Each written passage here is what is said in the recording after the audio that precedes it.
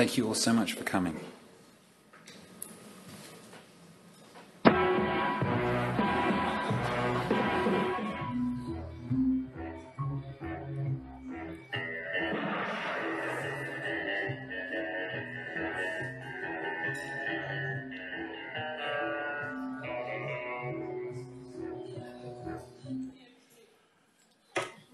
James Bond is probably the most famous civil servant of all time.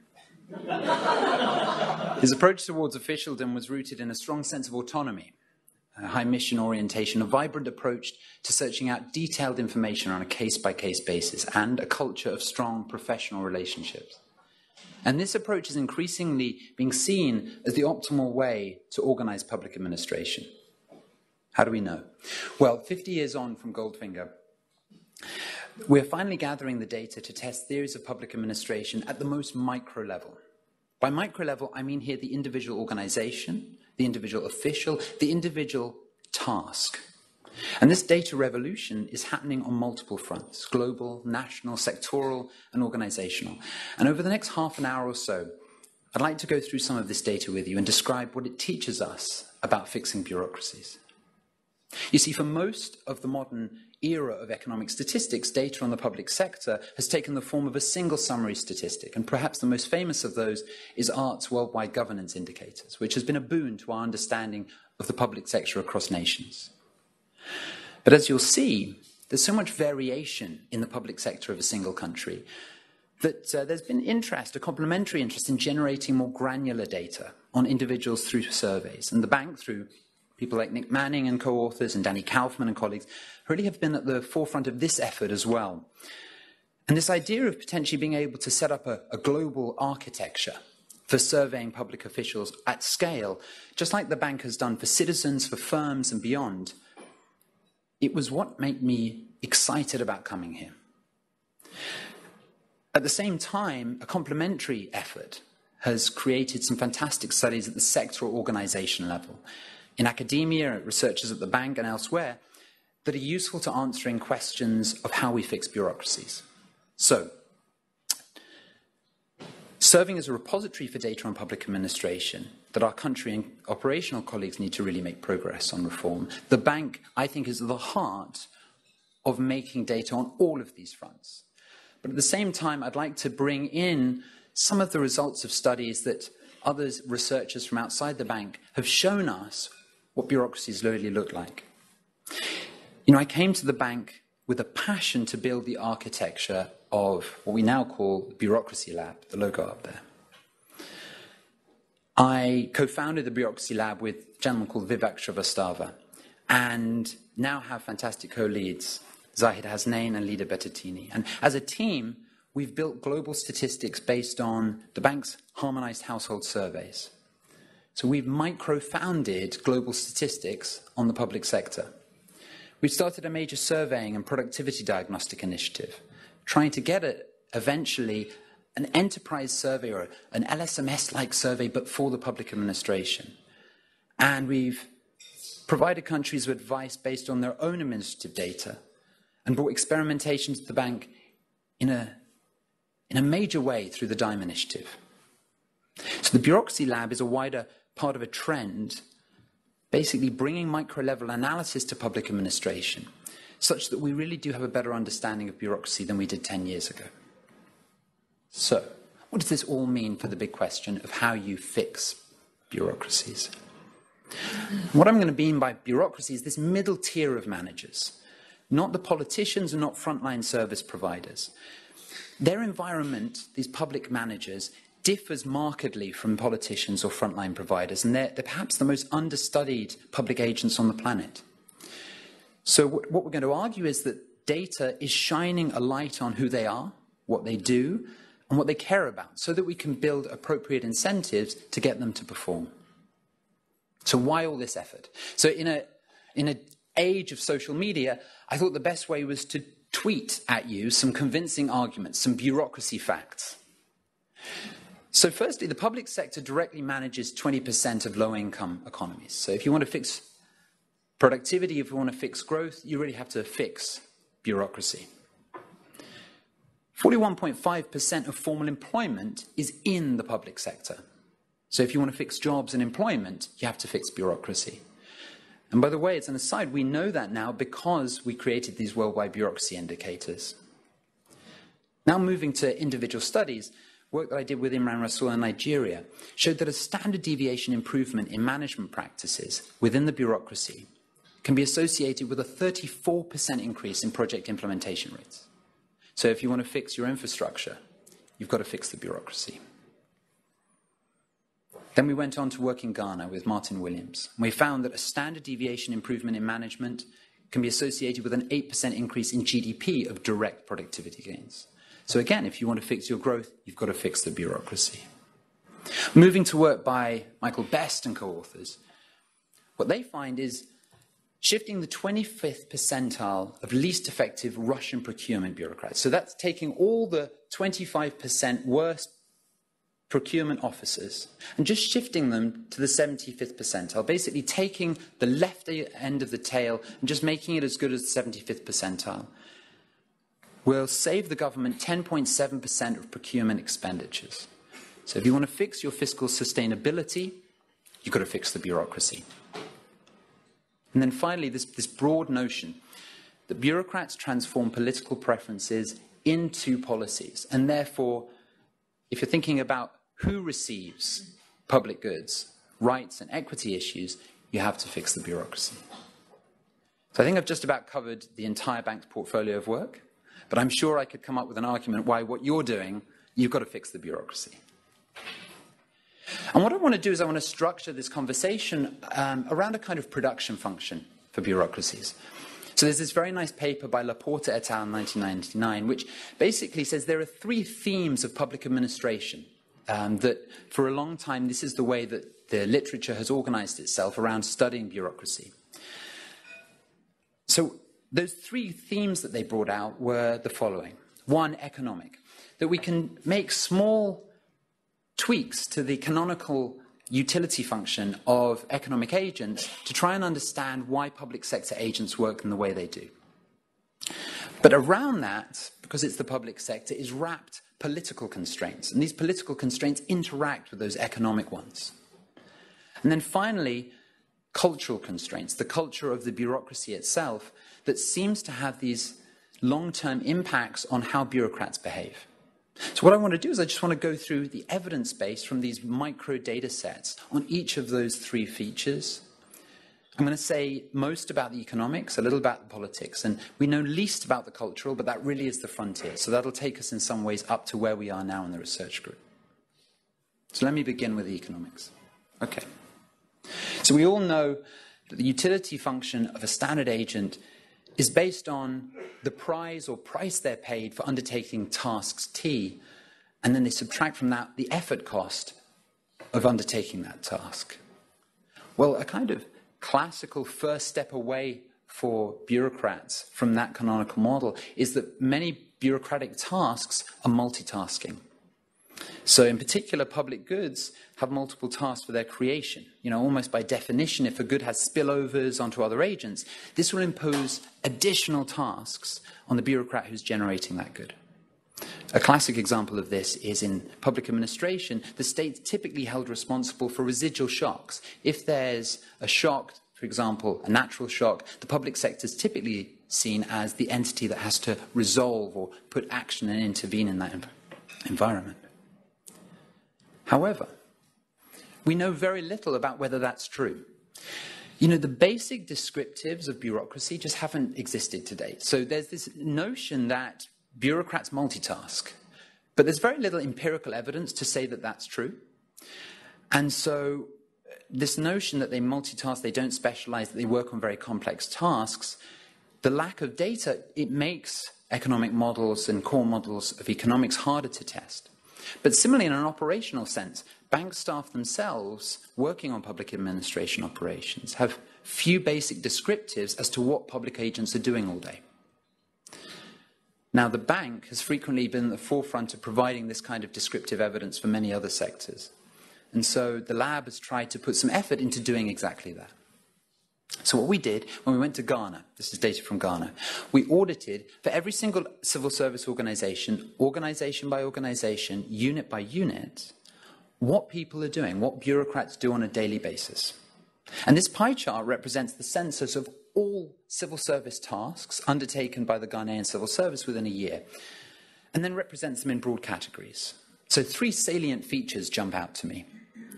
The first is that the work really is very different. The profile of work is different to politicians or frontline service delivery agents. They're not undertaking what James Q. Wilson, in his book Bureaucracy, called production tasks, tasks that are uh, precisely specified in advance, that you can progress towards these goals and they can be reliably measured. These are more like craft tasks. So, you know, second, we can say that these areas of work can be characterized by their potential for multitasking, complexity, ambiguity, exactly as the theoretical notions of the bureaucracy would, would say. You know, for example, in the case of policy development here, 23% of what Ghanaian civil servants are doing. It's hard to do it right, partly because it spans multiple task areas, but it's also hard to know whether it's been done right. You know, what does a good policy look like is very hard for a public sector manager to judge. And then thirdly, purely this descriptive notion that the red is basically managing the bureaucracy itself. So 40% of what the bureaucracy does is just keeping the beast alive. And models of you know, the bureaucracy I don't see have typically sort of understood that a lot of what bureaucrats do is simply keep bureaucracy going. Understanding these things better just by providing descriptives helps us better understand the kind of environment that these operatives are working in. But let's think a little bit about specialization. So we can take those seven categories that I've just shown you. And we can assess the extent to which organizations are specializing. So each of these categories now have all the tasks in that area stacked. And each of the colors, the bands, is a single organization undertaking those tasks. So what we see, highlighted by the different colors in each of the uh, columns, is that every single organization is being, you know, performing a bit of everything. There's no specialization. And at the organization level, we can say that bureaucracies very much are multitasking. So even if we take a specific subset of these tasks, so infrastructure, and now what we do is we break infrastructure into multiple pieces. And so we ask, you know, with something as specialized as the development of physical infrastructure, and now turning to Nigeria, this is data from, from Nigeria, do organizations frequently implement a wide range of types of infrastructure? They do, in parallel with their colleagues. So, whilst there's a big descriptive exercise to continue here, the sort of early evidence is that multitasking is very much a public administration phenomenon. So the question is, why does that matter? It matters when incentives are put in place to reward effort on a specific set of targets. So, since some components of the production function of a project may be harder to observe than others, the official may skew their efforts towards some aspects of the project than others. So here what we have is, is a reminder that the prize, the price you're paid for a task, isn't an exact measurement of what was achieved on that task. It's some noisy measure. So that measure may be incomplete for various reasons, and then you add the fact that the world is noisy. And so as the task becomes more ambiguous to observe, it becomes harder for the manager to observe that effort. So what we want to do is see what does the microempirical evidence say about whether this happens in practice? Now, as we're going to talk about reputation later, I just want to seed something in your mind. An official's colleagues might be able to observe the efforts and achievements in a way that can't be categorized in a performance system. So, going back to the Nigeria data, what Imran and I did was we had engineers take every single project that we were studying these are engineers who've got nothing to do with the project, independent, and go through all the project documents and categorize how ambiguous, how uncertain a project might be in implementation. And so what we have on the x-axis is this index of ambiguity, how ambiguous the project would be for a TTL to implement, how many shocks he might receive, how, did, how uncertain the environment might be that he's implementing in. And then here on the x-axis is you have the coefficient of the impact of incentives related to performance incentives and, and kind of a performance framework. And so What we can do is by each of those groups of projects that I've shown you, we can say, what's the impact, the marginal impact of performance incentives? What we see at very low levels of ambiguity towards me on this ambiguity index, just like we see in many frontline studies where there's a basic task you have to repeat many times. Low ambiguity environments, performance incentives have a positive impact on outcomes. These are project completion rates. But as you move down the index of ambiguity, you see that very quickly performance incentives actually are retarding project completion. They're retarding project quality. And that happens very, very quickly with procurement buildings, boreholes, and dams having really significant negative impacts of using performance incentives on those projects. And the question is does this happen at certain points in the project? Well, so now what you have again is on this y axis the marginal effect of CS incentives, so, so performance incentives. And what you have is the different stages of project completion. Closest to me is the initiation of the project, the other side is the completion of the project. And what we see by looking at the marginal effects at every point in the implementation of those projects is that performance incentives are, are retarding completion at every stage. So the question is well, what do we do? What, how do you create environments that bureaucrats can, can perform well in? So we also measured the extent to which the autonomy of individual bureaucrats affected their ability to implement projects. And across this cycle, what you see at the top is the impact of autonomy incentives on different bureaucrats. And what we see is across the complete the, the project cycle, we see positive effects of autonomy. Now, one response to this that we received was uh, a paper on China. And they said, well, if you can isolate individual targets, measurable targets, then public sector managers can have people perform on this. And they took the example of SO2 emissions in China. So this is a, a paper by uh, Chen, Li, and Lu, came out last year. And what they show is that once targets for SO2 emissions were introduced into Chinese bureaucrats' reward functions, in 2006, you see a big reduction in SO2 emissions. And so, to me, what this conversation between the two papers says is that when you've got public sector managers who have clear targets, the data systems can be put in place and accountability regimes are sufficiently strong, there is evidence that managers will, re- will respond. But now let me take you to one particular setting, which is this procurement environment, where in our data, performance incentives had this negative impact. And we're going to go to Pakistan with Oriana Bandiera and co authors. So, what they do is they say, well, let's take a set of procurement officers and experimentally give some of them performance incentives and experimentally give some of them autonomy and another group both and see how they respond. And so these are the results. So what we have here is like a time series graph. So date is on the y on the x-axis. So you're going to see what happens over time to the prices that they pay. And this x-axis is now the price paid by these procurement officials. The blue line is the kind of average price in the controls as a benchmark. And the red line is important because that's the moment that they paid performance incentives. Okay, so what happens? To the group that they provided performance incentives, they saw an initial big reduction in prices that procurement officers were able to secure for the items they purchased. But as soon as the performance incentives were paid, those prices escalate well above control. What happens when you give people, experimentally give autonomy to individual bureaucrats? Well, what you do there is you give them the ability to secure lower prices, but they sustainably do so. And so, what this line shows us is that autonomy is able to give a kind of continuous lower cost relative to the standard rules of procurement in Russia. And then finally, what if you combine them? Well, actually, what happens is that the performance incentives are just reducing, they're just limiting the impact of or autonomy that was given. So, both in the cross section across all public projects, or a representative sample of projects in Nigeria, and in this experimental case for procurement, we're seeing very similar effects. Now, we've seen this before. There's evidence for distortionary impacts of performance incentives from a wide literature. A famous recent example is Adnan Khan and, and co authors' work again in Pakistan, where they incentivize tax collectors with the promise of, of, um, of uh, in performance incentives.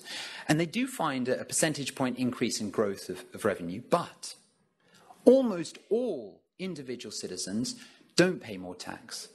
But they do report high levels of bribes and instances of corruption. And the way they see this is you've raised the bargaining game between the individual procurement officers and those citizens.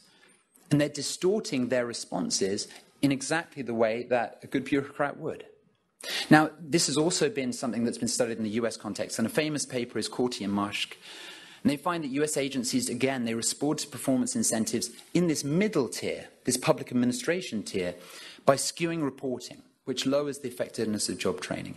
Actually, Heinrich and Marsh, the Marsh has this nice review of all the evidence from the US, and I want to bring up one particular um, statement from that. And what it says is the ensuing development and testing of pay performance systems for both personnel management and public accountability is ongoing, albeit research suggests that public sector applications have to date met with limited success, primarily due to inadequate performance evaluation methods, underfunding of data management systems, and rewards for performance.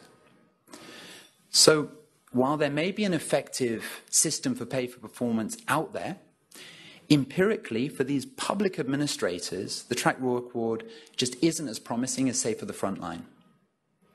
Reward structures really need to be able to be evaluated across the broad profile of under tasks undertaken by public sector employees.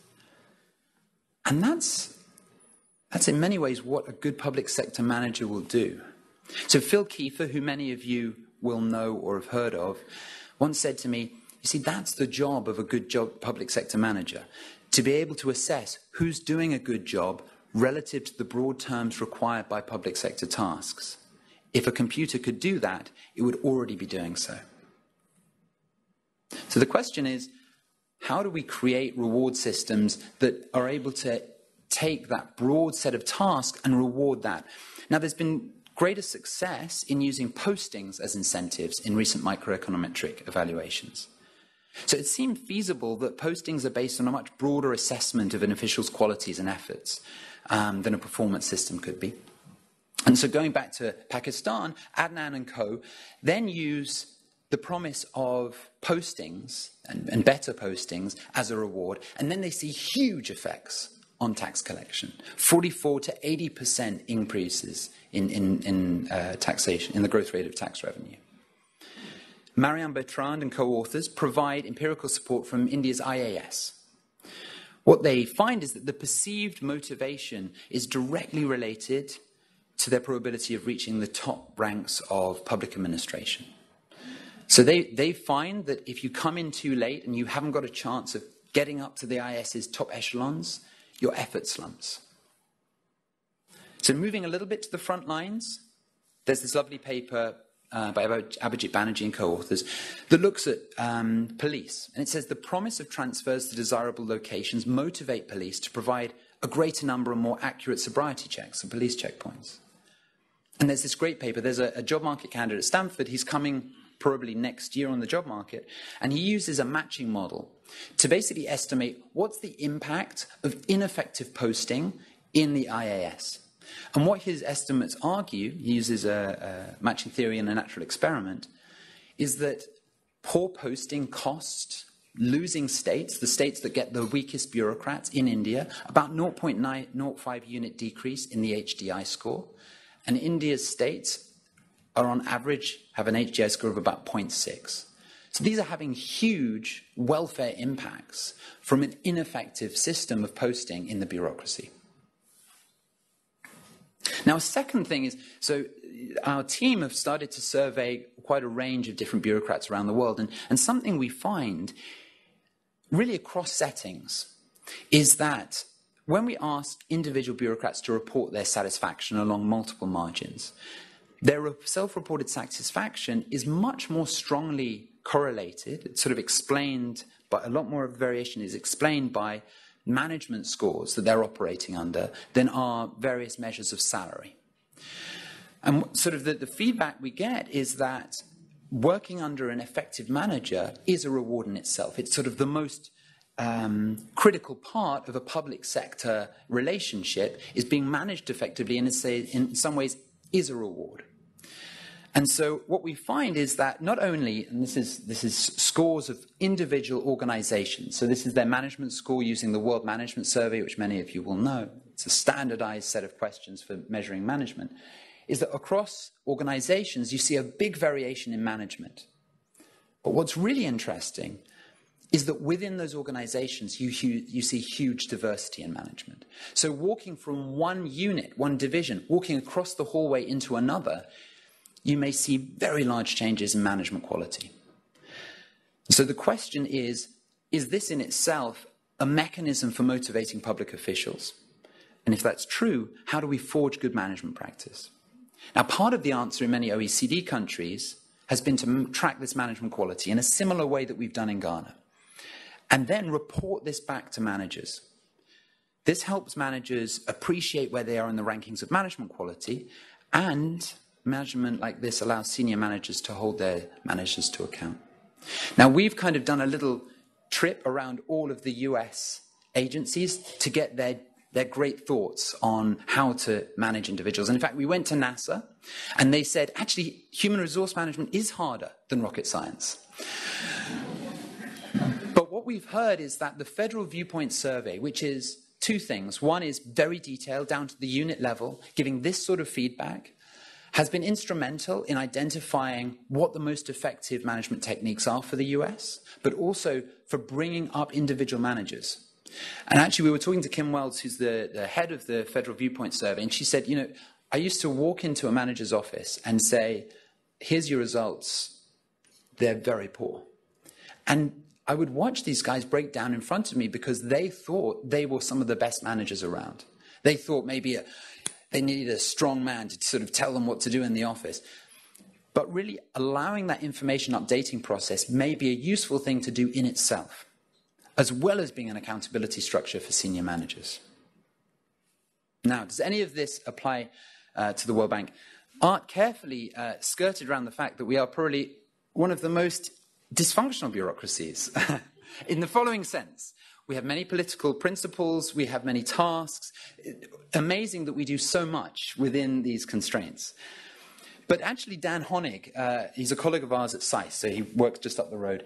He did study our TTL. So, what he did is he takes um, the projects that we work on and, and, and looks at measures of incentives corresponding to the TTLs who are working on those. And what this does is this graph plots his impact, so his um, project success scores against environmental unpredictability. And what he means on the x axis here is kind of working in more difficult environments, working in more like FCV environments or working on more difficult projects. And the, the success on the y axis is plotted across these difficult axes. And what he shows is that when TTLs are given high autonomy of various different guises, actually it doesn't impact the project's success if you move to more uncertain, more difficult environments. But if you constrain that autonomy, then it does. It substantially reduces them. Now, again, this is another piece of cross sectional work, but what it does is it allows us to show a wide range of literature, some experimental, some otherwise, is very closely fitting the underlying economic theory that we should expect. So the bank is operating as if it were a bureaucracy. And perhaps we should experiment with and test out ways to give our TTLs a little more autonomy. It might do our projects a little good. So, this idea of posting brings us to the possibility that public agents gain utility from tasks themselves. Right? People enjoy working on some things and not others. This matters because of the size of the reward that would be optimally given to individuals to undertake a task, but also in terms of the agents that select into service. So it, it, implies that it may be important to get officials working on tasks they're motivated by, as this lowers the need to motivate them with extrinsic incentives. Now, I know no study that does this task matching exercise. So showcasing what happens to a bureaucrat when you put them onto a project that they really care about versus something that they don't. So that's certainly a frontier. So, what evidence do we have on selection? So, the first thing that you could ask is what evidence do we have across public and private sectors around the world in terms of preferences? We have very little, as you can imagine. But what we do have because we now have the worldwide bureaucracy indicators, is some sense of what the wage premium looks like around the world. And so that's the financial incentive you get from moving to the private to the public sector. So what we find in general is across the countries that we work in, is that the public sector does have a wage premium across all income levels. So there, there is potentially a pecuniary incentive to work in the public sector. However, this finding is sensitive to the comparison group, the range of variables one can include, and so forth. But one thing we find that really does seem to survive quite a bit of torturing is that senior officials in government have a robust negative wage premium. So that means individuals who are senior, professional, technicians, they're actually moving into government and earning less on average than someone with a similar set of characteristics in terms of um, you know, the observables that we have in the household surveys. And so this is a sort of interesting question. This is very much in line with the idea that more senior officers gain utility from the interesting public good task aspects of their job. Whereas clerks and elementary occupations don't get that satisfaction, and there you do see quite a large pecuniary incentive. Of course, there's questions still to be answered. You know, this is still consistent with the possibility that the senior individuals receive long, large non-wage remuneration, like health insurance in a big office and so forth. But the other thing we wanted to find, and, and, it's nice that the World Bureau Bureaucracy indicators kind of hints at this. So we go into admin data and we look at administrative data on wages in a range of settings. And so what we find is for individual officers, so now take someone who really is the same years, they, they entered in the same, same year, they've got the same years of experience, they've got the same experience, uh, qualifications. The variation in wages between those two individuals in almost all the settings that we find is extremely large, three or fourfold differences in the wages that individual officers are paid. And so, talking about a single wage premium, even for a single category of officer here, is very difficult because of this incredible dispersion. And so, what needs to happen is this very micro aspect of following individual officers into the service seeing what happens to them versus their, their compatriots and seeing how they increase these, their, their incomes so large. And this is work that we're now uh, working on in Brazil. But there are a set of papers that are typically thought of as the real frontier in public administration, um, uh, sort of microeconometrics. So the first is Dal Bó and Finan and Rossi's paper, 2013, that randomly offered in different locations different wages to, to become a public official. And what we saw there was that it did attract more able participants. They were not less public service motivated. It increased acceptance rates, and it got people to go to what was sort of thought of as worse municipalities. So there it was. It had this positive impact, and it didn't have these disadvantages. Similarly, Nava Ashraf and Oriana and Scott, they randomized the offer of career benefits at their recruitment stage for nurses in Zambia. And they find that though this attracts a less pro-social applicant pool in general, of course, you're only going to hire the highest end of that. And for those individuals, they're more talented and equally pro-social. So again, we've got an instance in which higher wages do not seem to be having an impact on pro-sociality, but they increase the quality of the talent pool. And this has real effects on the impacts that they're having in, in uh, in the field, they reduce child mal- malnutrition by 25% in the communities that they serve. But of course, ask an economist a question, get multiple answers. So Erika, who's, who's visiting DEC for the next few months, uh, finds, in contrast, that while higher incentives increase the probability of filling a vacancy, they do signal that they convey some sort of cost. And this reduces the ability to recruit the most socially motivated, who are then found to, to have uh, stay longer on the job and perform better. So you've got these individual micro studies and this global data. So how do we match the two? I would argue that a frontier here is understanding the labor market context in which each of those studies are implemented. And the paper I'd like to highlight now um, does two things. So, firstly, let me say this personality does seem to matter right? So Michael Callen has this nice paper where he finds higher scores on personality tests impacts public service motivation, so that's public service motivation, big five, impacts doctors to attend more and falsify records less, health inspectors to respond more to accountability inventions, but particularly important for our discussion today, these senior health officials with higher big five scores, these kind of personality scores and public service motivation, they respond more to data on staff absence. They ensure better uh, subsequent attendance. So personality does matter here. But what we want to understand is how a personality is being moved around between the public and private sectors. And I'd like to, to, just take a couple of minutes to describe the research of the first Bureaucracy Lab PhD fellow, Ravi Somani. And so, what he did over the last couple of years, so he's going to be joining us for a couple of years, so you'll, you'll have a chance to talk to him uh, soon. His job market paper takes the approach that we need to understand the interaction between the public and private sector labour market, really to understand personality selection into the labour market. So what he does is he studies the expansion of tertiary education in Ethiopia. So there's this big push to open universities in Ethiopia, and sort of this happens every so often. But what he does is he then looks at the labour market of districts exposed to a university just before and after it opens compared with their neighbours. So these are the, the university openings that he studies, with the yellow being um, those that sort of intervened in and the orange the comparators.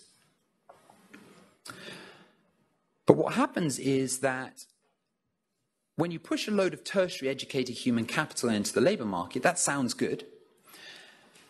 But the public sector labour market is a big player in the Ethiopian context, just like in many of the settings that, as we found out with the WWBI.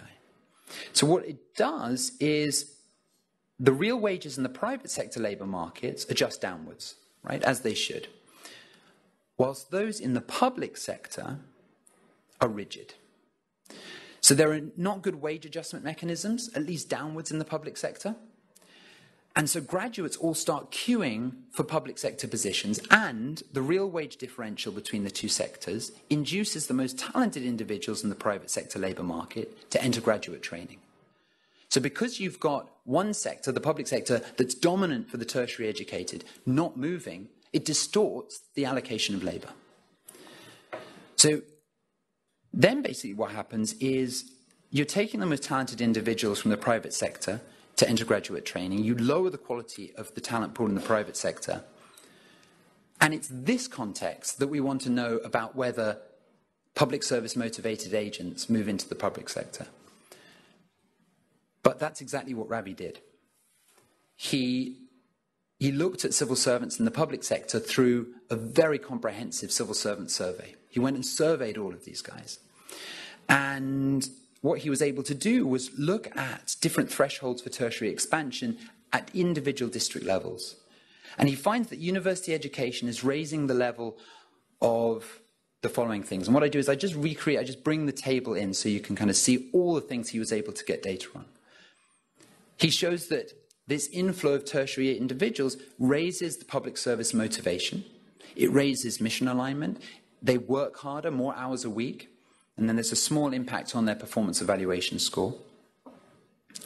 You see, it may simply be that university is raising the intrinsic motivations of everyone, and the distorted labour markets are funneling more of them into the public sector. But it's only through this kind of econometric detective work that Ravi's paper is a good example of that we can really find out. So, what we have to do to understand the sort of selection issues that, that these individual studies on is, I think, collect data at the labour market level, both public and private sectors, in this way to really get a, a handle on the topic. And it's a wide open uh, research area. So, that gives you a sense of, of how the literature has dealt with the economics of public administration.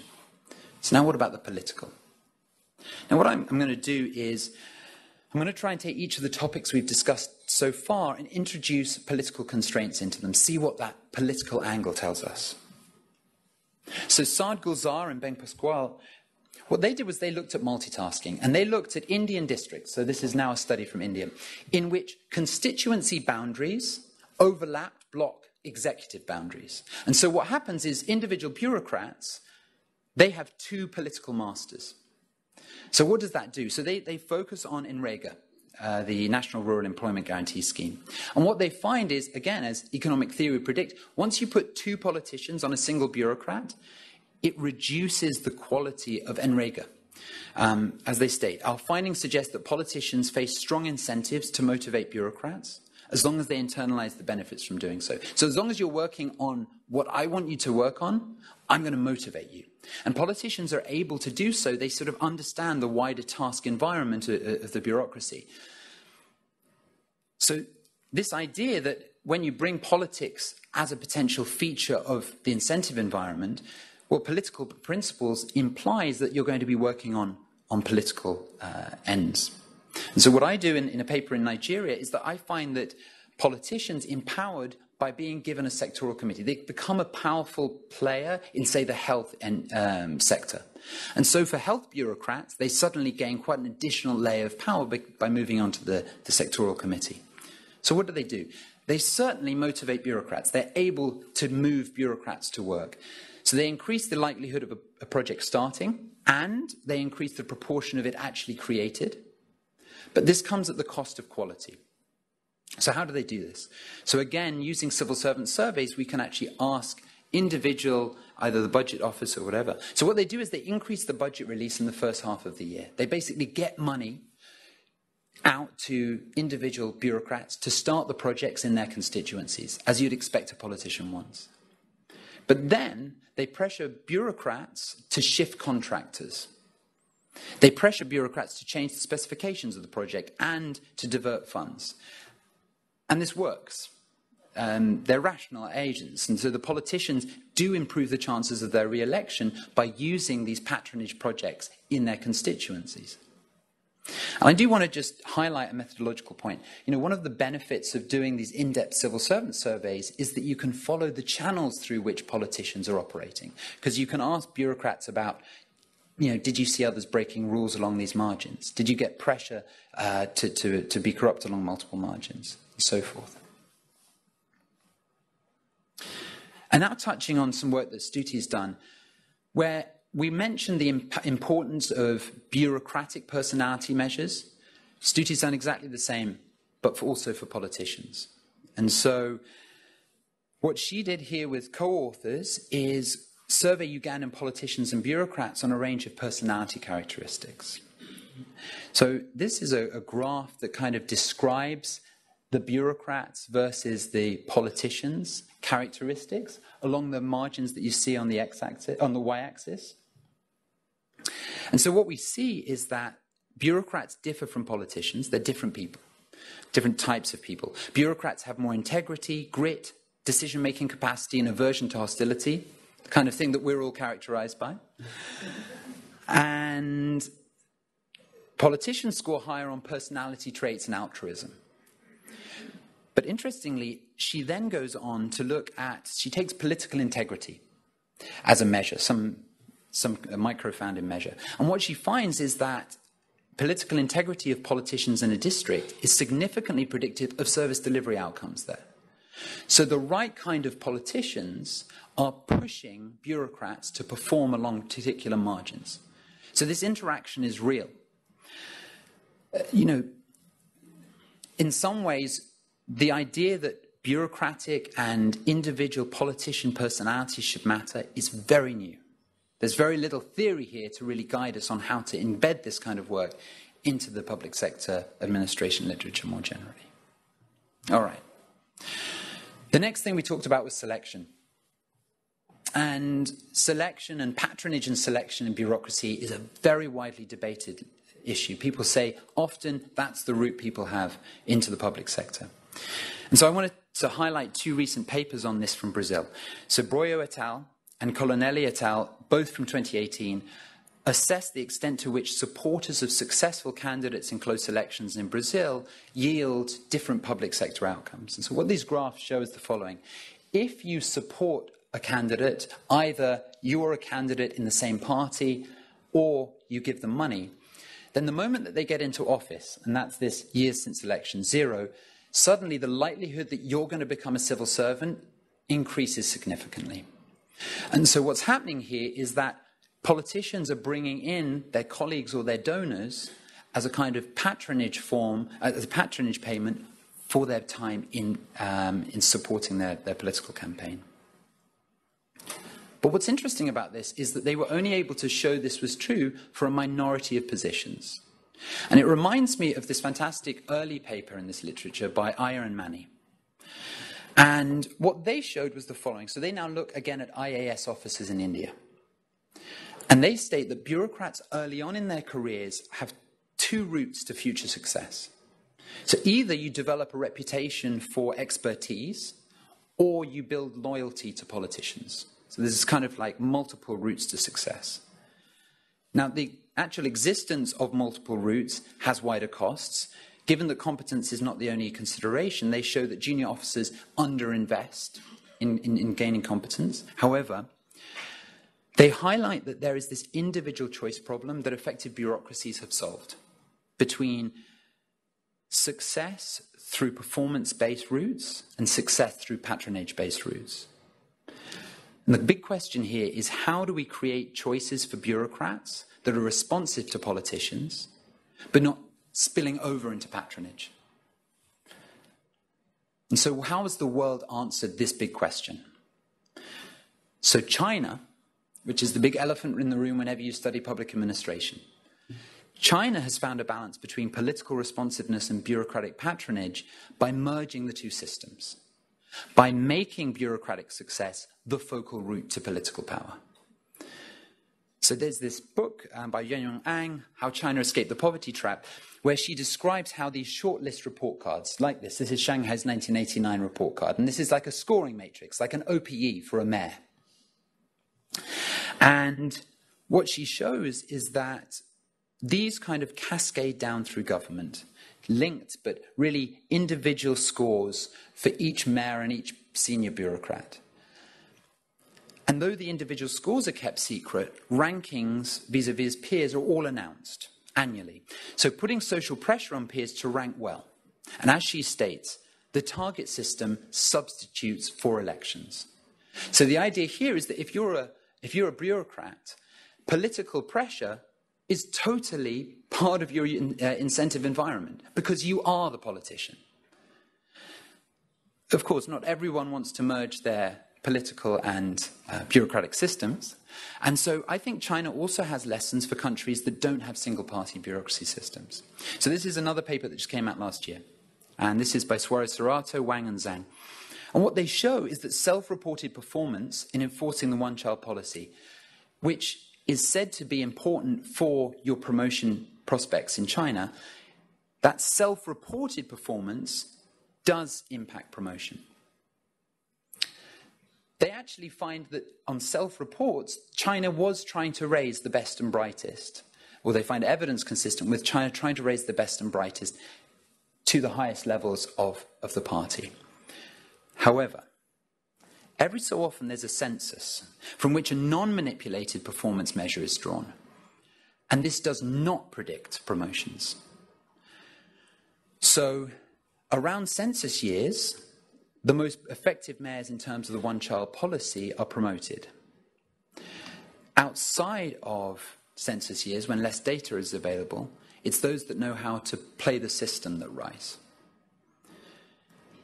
Now, partly, as well as sort of enabling a, a wider range of incentive performance options, creating that rigorous data basically mediated the role that politics could play in the rise up the bureaucracy.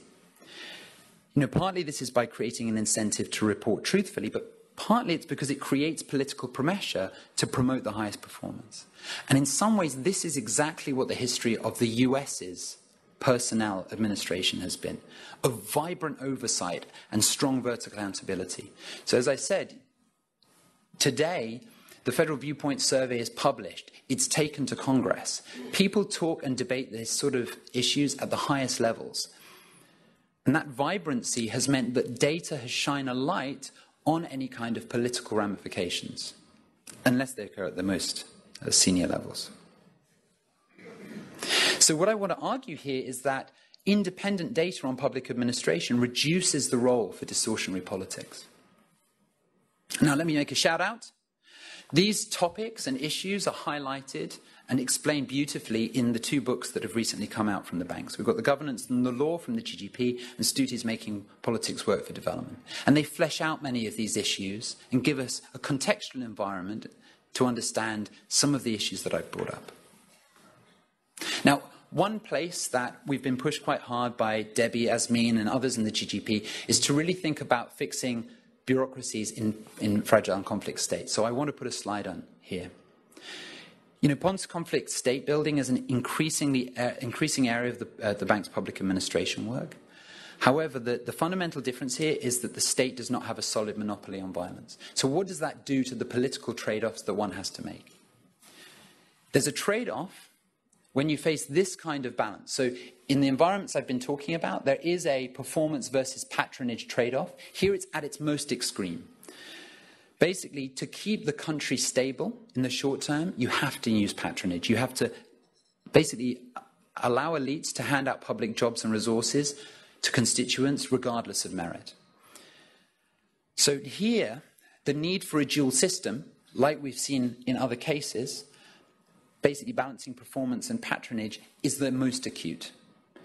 And so, work that Jürgen Blum, one of our colleagues in the GGP, and, and, I have done, really argues that the transition away from, from this is A, to recognize this political trade off is very real and it ensures the stability of the, of the uh, political state, but it also allows us to understand how we might construct these two trade offs and make the performance track the one that civil servants want to undertake. Okay. So finally, we're going to turn to the social and cultural determinants of the production function for bureaucracies. And I'm afraid here we have almost no microevidence. Um, we have many indications. So this section is going to be much more of an agenda going forward than a description of existing results. It takes us a little bit beyond the frontier of the microempirical research agenda. So, a third defense against over politicization of the bureaucracy is to build a strong service identity. Interesting, Tim Besley, James Perry, that's of the Perry Motivation Index, and Erin McDonnell, representing their professions of economics, public administration, and sociology, have all presented at the Bureaucracy Lab in the last year. And each of them concluded with a similar sentiment. Basically, this is Erin's slide that summarizes it nicely. Their argument is that we have to create protected clusters of teams with focal identities, these professional norms, and a shared um, identity. What this does is it shares basically, um, it makes the more autonomous, intrinsically motivated, and robust against political interference teams that are, are sort of more able to operate than the standard bureaucracy. And this could be at the unit level, organization, cadre level, these are platforms for individuals to boost their individual professional value and gain competence and information in a specific area. You know, what evidence do we have from what I've just told you that this, is, that this might matter? Looking back over the presentation so far, both the postings results and China promotion system could be seen in some way as building professional norms. Intrinsically motivated agents will select into the public sector when there's a clear professional norm for service delivery. And this actually seems to be happening in the real world. So, not formally evaluated, there are examples like Rwanda has put in a system that basically fuses the modern concept of performance contracts with the traditional public commitments called Imihigo or vow to deliver. And it seems to be having big impacts. Similarly, the Institute of State Effectiveness in Georgetown, that we work with regularly, they've tried some of this work in Timor Leste and Afghanistan, and again, have emphasized the importance of social components of a public official's rewards. So, if I was to sort of think forward, I think a, a sort of service, a, a shared service identity is a real agenda for people here to take up. But the first thing we have to do is understand what we mean by identity. Is it shared experience, joint beliefs, commitment to a common cause? And myself and a few others, uh, these are the three micro evaluations that I know of. Erika and I, uh, with Vincent and, and uh, Pons and Jen, are basically testing this impact of shared experience and appraisal reform in Liberia. I'm doing some work with Imran Rasul and, and, Martin Williams, testing the ability of different training methods to change service culture. And Leonard Wantchekon, who I'm sure you most, most of you know, are testing this idea of small group therapy in, uh, in Benin. Actually, Sanjay Pahuja, I don't know if he's here, he basically has started trying to bring this work into operations and seems to be having success. So this is very much the frontier of how we can understand the public sector administration. All right, so how is it going to end? So I'll try and put a synopsis together very briefly. The task space for public administrations is distinctive to frontline officials. There's a greater room for ambiguity, for complexity. And incentives seem to be effective when they work on professional values, getting to work on preferred topics, the means of boosting an individual's professional standing. In some sense, we know politics will ex- always exist. Um, therefore, we're defining a kind of choice environment for public officials who can either take routes where performance matters or they can use patronage to succeed. But we need to complement that with a culture of communication that communicates professional norms. Now, I've argued really data, and I'm slightly pitching for the lab's work here, is that data could be a part of supporting those processes. So, if that's too long a synopsis, just always think every time you look into your government counterpart's eyes and think, I'm really talking to James Bond here. I want to give someone the sense that they are autonomous, that they have a mission, that they have the opportunity to search out information on a case by case basis. And a culture of strong professional relationships is something that they're embedded in. So, what does all this finally mean for policy and research at the World Bank? The Bureaucracy Lab tries to be something that echoes the research findings that I've talked about so far. It tries to be an entity that can work with government to support the collection of this kind of data, exposing and highlighting problems specific to units and organizations. It wants to be independent in that data collection so that these impartial benchmarks can act as a means of incentivizing accountability. And if we are able to warehouse large volumes of data on the public administration, we will be a resource for researchers, bank staff, analysts, and so on a coordinator also of methodological research in the same way that the LSMS and the enterprise surveys have better understood how to survey those entities. So, one more video, and a sense that we are excited about what role we can play as we go forward into the future.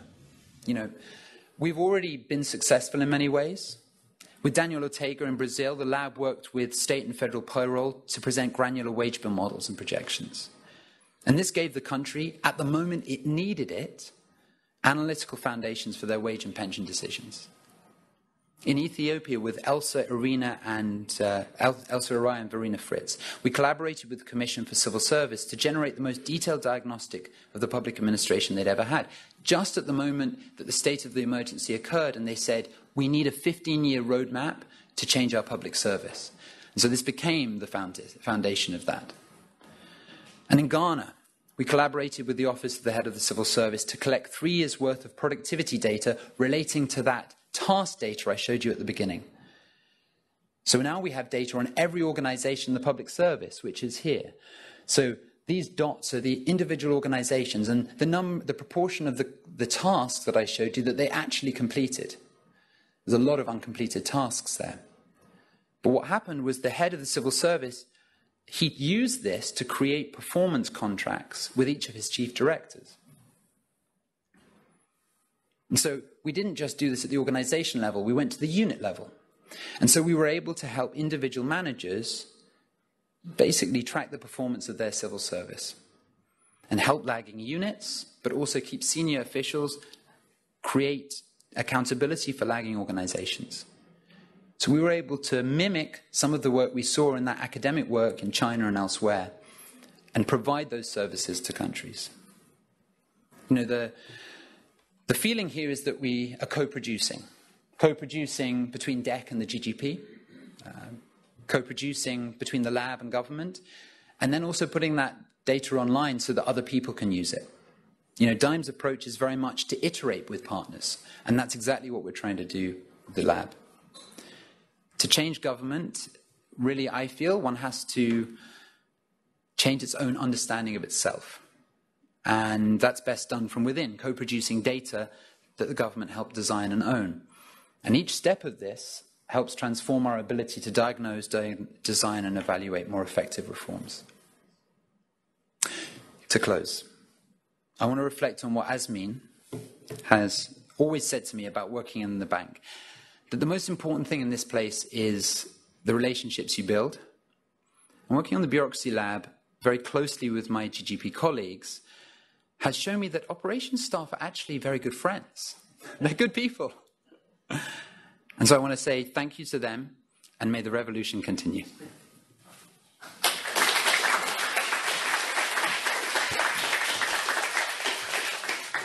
Thank you very much, Dan. Uh, now, uh, Debbie, five to ten minutes yep. for discussion. Thanks very much. I'll be very brief because we want to get to your questions.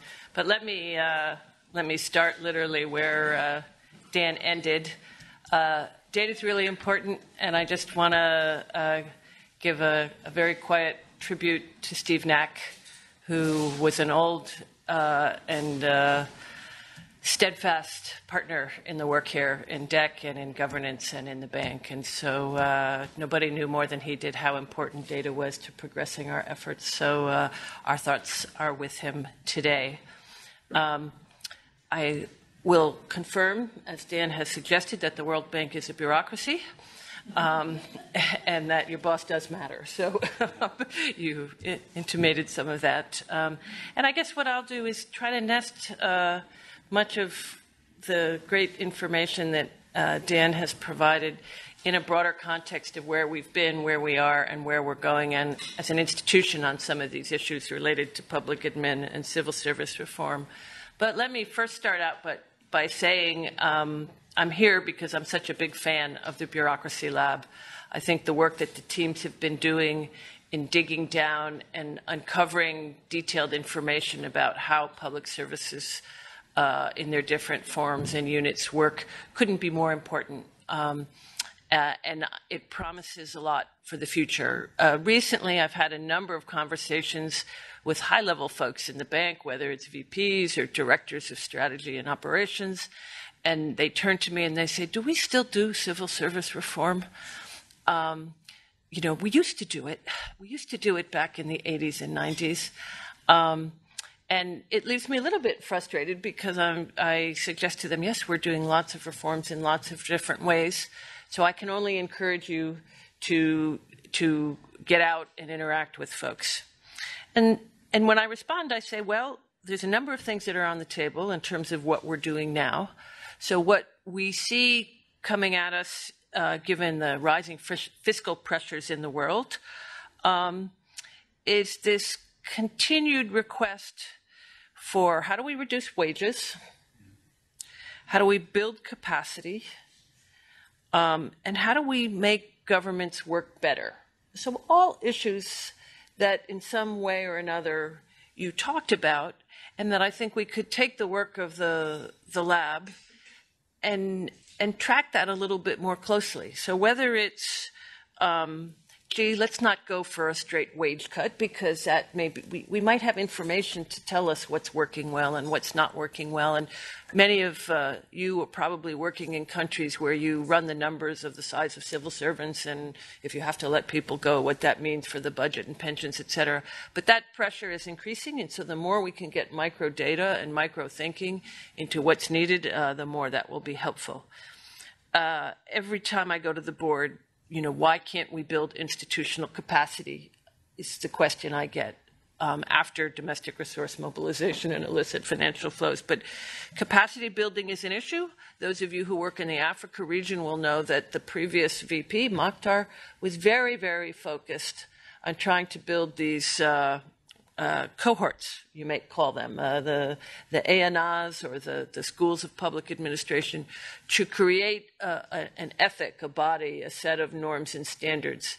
And so that's a question to be explored of, you know, we, we have a number of different ways in which we've tried to promote institutional capacity building, but thinking a little bit about what your data tells us when you put together the who gets paid what, what the, the, the incentives are, what the performance if you have data on outcomes of what people are doing with these tasks, that the whole circles on who does what and multitasking, I, I suppose we all live it every day because we're all multitasking, but how we use that information usefully could be really important. Um, and how to make uh, civil servants, bureaucrats work better. So I myself did a lot of work on performance management in Brazil. Um, there was always this issue of trying to attribute uh, a performance to an individual or to a team. And uh, we did a lot of really interesting and successful work, and then it got lost in a tidal wave of a big political turnover when uh, when Dilma lost uh, when the transition occurred in 2014. She didn't lose, but uh, it was quite a quite a big shift in the political agenda. So there's lots of things that we're working on right now that it would be really, uh, you've already started to unpack how some of these things apply by the work that you're doing on the ground in West Africa and, Ethiopia and India and elsewhere. Thinking about how we can reach out to the staff and help them understand that um, will be important. Um, another topic that is not where we are right now, but is coming down the tracks as fast as can be, it's this question of jobs and economic transformation. So, several years back, we did a WDR on jobs. We had a, a, a CCSA, so a, a, joint group working on how do we advance the jobs agenda. But countries around the world, uh, and we see this in the IDA discussions that are occurring right now, they're just freaking out because the demographics is such that the youth bulge is growing, particularly in Africa. And we are struggling to come up with a, jobs agenda that uh, is effective. And we've talked about this before, but one of the issues that I think couldn't be more important that's in the data that you have, and every, have, every time I have a chance to talk about it, is this question of what is the relationship between public and private sector. So when we get into the JET agenda, we almost always go direct to, directly to private sector.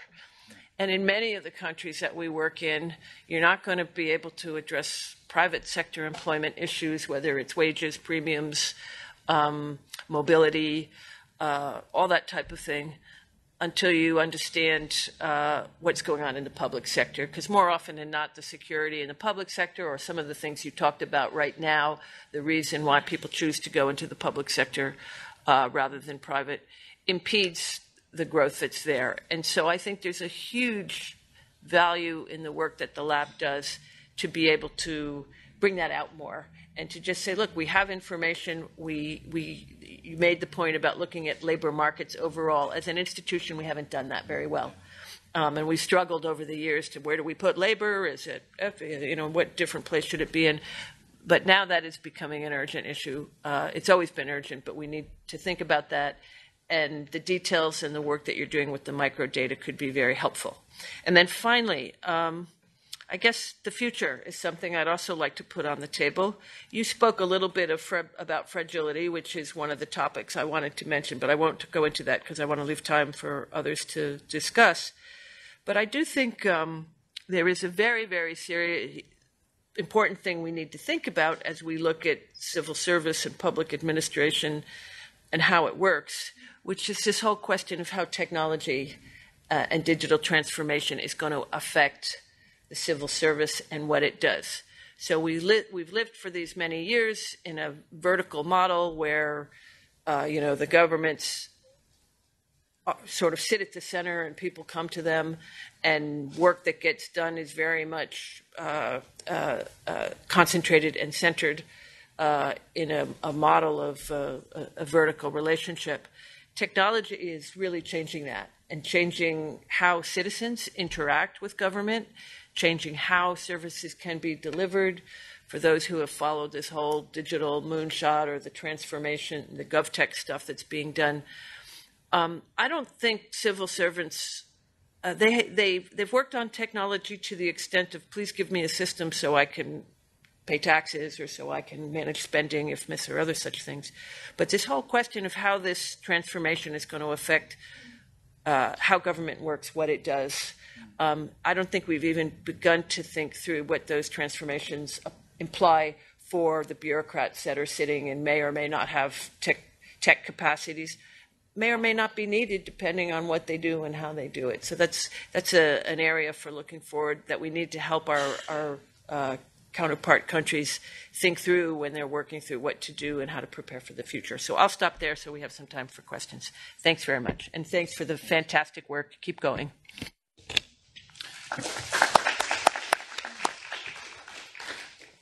Thank you, Debbie. Rather than um, uh, give Dan an opportunity to respond, I think maybe we'll go around and take uh, take some questions that you can then gather together uh, with points from Debbie that you'd like to uh, address. Um, uh, David, go ahead. So, given you mentioned this multitasking issue, I, I wonder if you're concerned that by measuring only part of what these public servants do, you actually distort them away from doing what they should be doing to the extent that your tools start getting used for benchmarking. Owen, go ahead. I was intrigued by some of the summaries that you gave early on of the, the structure of bureaucracies, whether in Ghana or elsewhere. And I wondered uh, if you had any comment on the differences between that structure, that the 40% of the body is responsible for keeping the beast alive. Uh, how different is that structure that you observe in, in Ghana or another bureaucracy from that of, let's say, the World Bank, with which many of us are quite familiar, or of private sector entities? So, whether on that graph or any other, I wondered if you had any comment on that, on the relationships and the patterns that you see.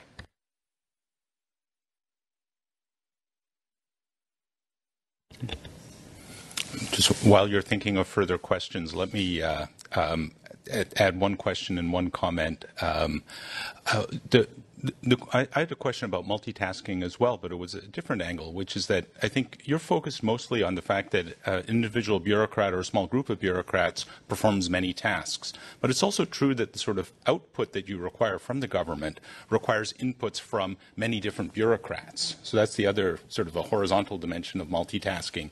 And I was wondering whether there's insights from this research on how sort of solving that coordination problem. You know, I can't give you that permit because the idiots in Ministry X never signed on the dotted line. That sort of dynamic works differently in, in the public sector versus in in the private.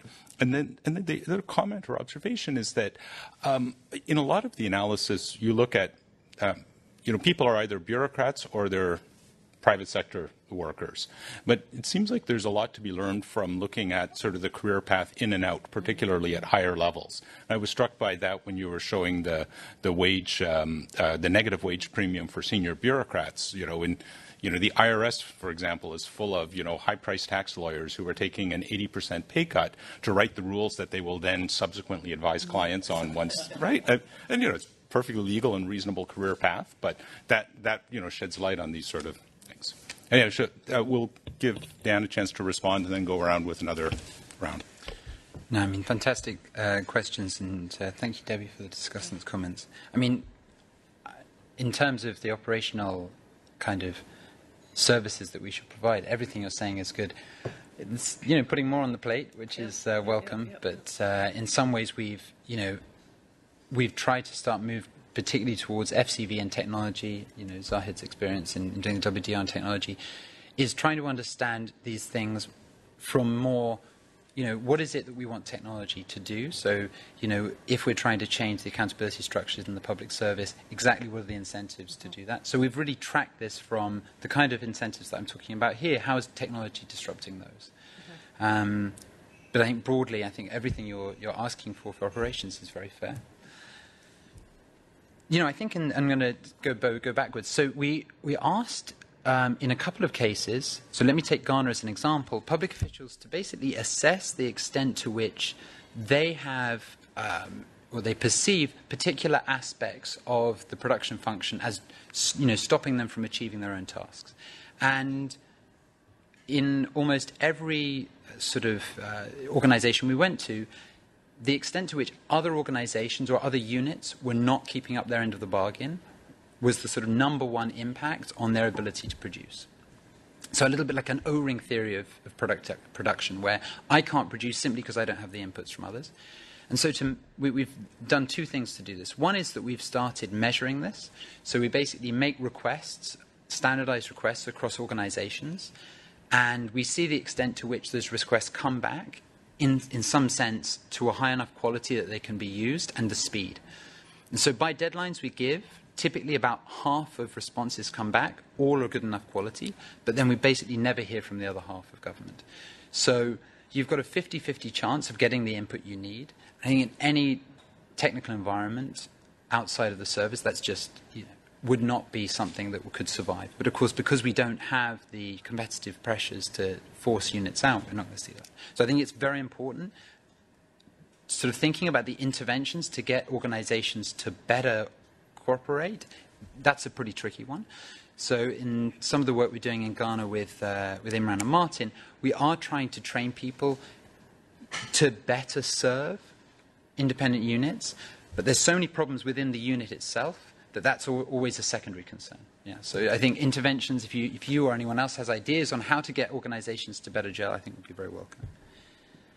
Then this idea of our own measurements distorting the possibility if we feed back. So the first thing is that um, I suppose that measurement system that I talked about at the end started life purely as an academic exercise, right? So all we wanted to do was try to take as much of a, a a census of all tasks being undertaken. And that actually had pre-existing uh, documentation. So that was commitments by every organization and unit to the presidency. So in some sense, there's two questions. One is, is that a complete census? But I think you were asking is, once we start to use that for performance agreements, what does that do to measurement? Is that kind of along the lines? I think that's a good question for all of our work. You know, once people start to think of us as a doing business, then are they going to lie on the surveys? Um, so we've tried a number of different ways of getting at that. So trying to get objective measures, and then asking a range of different ways of asking questions about different topics, including tasks, and then try to benchmark the extent to which we can create questions, measurement tools that are sort of robust to those things. Um, one example is in doing business, they always go and get independent audited kind of evidence of things happening. And so we've tried a little bit to get at that, but it's always going to be a bit of a weakness because we are also asking individuals, tell us about the management that you experience. So I think it's a fair question, something we've tried exper- sort of methodologically to experiment away from. Yeah. Um, and then the idea of how different, you know, sort of how different are the structures of the bureaucracies that we're working with either to those in other developing countries or to the private sector here. I mean, let's take that 40%. So uh, that entity, that sort of 40%, we only have data from one other place, and it's similarly very high. Um, you know, it's relatively rare to get a cataloging of every single task that everyone in an organization does. Um, in some sense, what's interesting is across agencies within the same government. And there, unlike many things, we don't see a lot of variation, that all agencies seem to be doing a lot of this stuff for themselves. And so there's a, a sort of, you know, there's some variation that we can get at, trying to say, well, why don't we move the best organization in Ghana um, and move everyone towards it. But on this particular margin, there really isn't a best organization. This seems to be a very common theme across the agencies that we're looking at. Yeah. More comments or questions? Yes, please go ahead. Yeah, thanks, Dan. It's a tremendous. I mean, the work you guys are doing is, is great and a, a fantastic presentation. Um, sort of a comment and then a, a question. Um, probably the most striking slide, I would think, to anybody, senior manager or, politi- or politician, will be the breakdown of what bureaucrats are actually doing. Yeah? So I think many of you are taken aback, and certainly citizens would be very taken aback that their bureaucrats are spending you know, 40% of the time on what's like very internal tasks, et cetera. And I guess the question is um, sort of twofold. One is the extent to which, you know, as part of kind of building capability, is there a question of trying to rebalance the work that the bureaucrats actually are doing, and are there ways of sort of tackling that? And the second comes to motivations, because really uh, what you're talking about across the board is sort of the different types of motivations and whether you're sort of aligning with the politics, if you're creating a kind of corporate culture around that. And uh, it just seems to me that perhaps the nature of the motivation depends on the nature of the subtask that the one bureaucrat or one unit um, needs to be undertaking. Because, forgive this, this is going to be a horrible pun, but I'm worried that the bureaucracy might end up shaken but not stirred.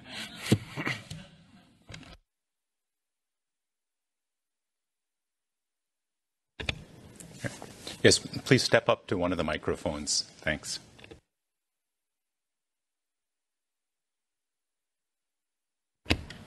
Yeah. So, what about the legal institutions in place in some of these places? Because it seems like if there's no enforcement, like there's, no, I mean, there's no penalty to taking a bribe or, you know, committing some type of fraud uh, by a bureaucrat, they have really no incentive to change their behavior. Just because I think some of these countries lack legal institutions that are good enough.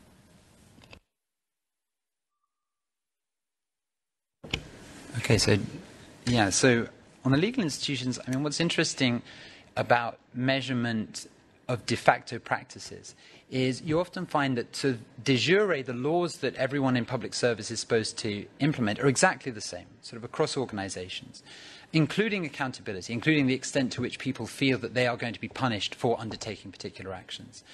Whereas here, um, what we see is that, that even if you've got the same legal traditions within a single uh, organization with a single service is that the likelihood of those actions actually being de facto applied by a manager or by, a, by an organizational head vary tremendously across uh, within the, the, the, entity. And so i I'd be very interested to hear more about where you think, you know, kind of we don't have effective legal institutions in you know public services. Typically the public service has a very you know, long legal mandate and there's lots of rules and you're told what you should and shouldn't do and what the punishments are for it. The problem is really actually enforcing those those rules and that seems to be very in, at the manager level, we're literally talking, you know, sort of institution manager level, that seems to vary tremendously within the same service. So I think the legal institutions maybe interact with enforcement, but I think that that's how I see it. The de facto enforcement is just not happening. Yeah. You know, in some ways, your, your question goes a little bit, um, you know, to this idea of, you know, how different are different structures of bureaucracies. Is it right that bureaucracies should be spending 40% of their time? It's very, to me, unclear what an optimal balance is.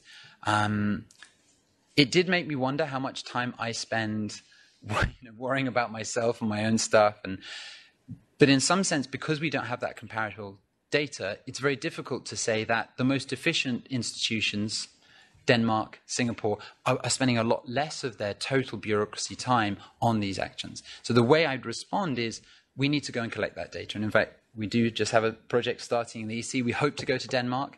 You know, we hope to go to other settings in which we're able to say, you know, what is the specific structure of your bureaucracy, something that we at least perceive of as closer to the production frontier, and then compare aspects of that, including sort of task distribution. So I think it's in some ways an, a question to be answered just because the data is not available yet.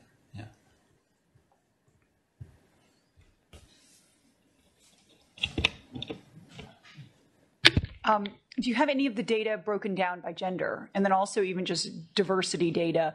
Are have you been able i know in peru that there's a belief that um, female traffic cops are less likely to take bribes. Is there any data to support that? And have you seen diversity within bureaucracies create better bureaucracies? Um, so this is I think super interesting, and I can only I can tell you some descriptive statistics. We are actually thinking about fielding an experiment all about trying to inject more females into different public service environments. So, in a number of different cases, when you look at management as reported by individuals, so f- females typically say that they are managed worse, and managers who have a higher fraction of their staff as women typically report themselves that they manage worse, right? So there's something interesting there.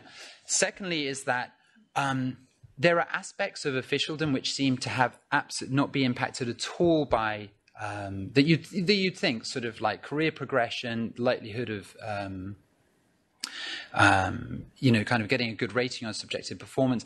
That stuff seems to have no like no difference in the first ten grades or something, the first up until the meeting, and then it massively kicks in for senior bureaucrats. So there just seems to be this very thick glass ceiling above which in the bureaucracy it's very hard for females to go. Now that's probably likely to be partly cultural. And so I think again, you know, I think what we need to do is better understand where, like in the Philippines, they have very high proportions of females, even amongst senior ranks. And then, you know, what is the culture and environment that's allowing that to happen? Um, so yes, there's some very interesting statistics. Um, I still think it's better to be a female in the public sector than it is in the private. Um, compression ratios, so the, the like the dollar loss that you get from your wages of being a female in the public or private in the WWBI, almost typically you're closer to the male wage in the in the public sector. So.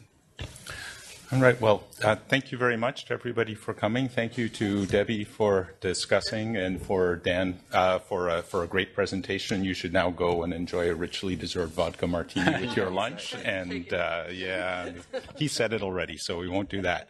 Um, and uh, uh, looking forward to the next policy research talk. Thanks. Thank you.